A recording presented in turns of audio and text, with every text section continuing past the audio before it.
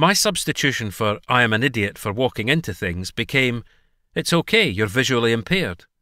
Rather than embarrassment and anger, I can now laugh at it. It means the incident is quickly forgotten and doesn't make me feel bad for the rest of the day. T. Take action. The whole point in cresting your limiting beliefs is to go out there and be the best you can. Champions don't become champions by sitting around not trying. They find a way to overcome their obstacles, to crest their mountains. In truth, what have you got to lose? People don't remember those who don't try. This technique doesn't guarantee instant success. There will be the odd failure. Perhaps you think this means you will be remembered as a failure. Don't worry, you won't. What you will be remembered for is dedicating your life to something and becoming a champion. Stop listening to those negative thoughts, and whatever you do, do not, under any circumstances, punch the Queen in the face. Take action. Work through the CREST method. It's not a complex procedure.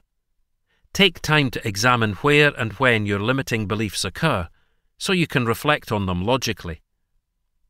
Look at them from different perspectives.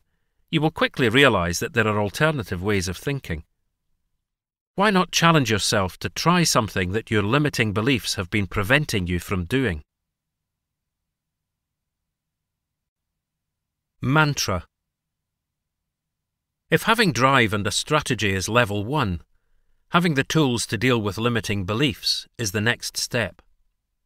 Champions reside at an even higher level they can shift their mindset when the situation demands.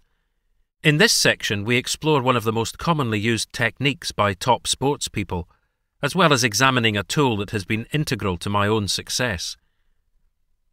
As I mentioned, you have between 60,000 and 80,000 thoughts per day. This means a constant stream of thoughts running through your head, an internal monologue. No matter what you are doing, your stream of thoughts keeps going. In stressful or challenging situations, it's likely that these thoughts shift from positive to more negative. This is when your limiting beliefs can worm their way in.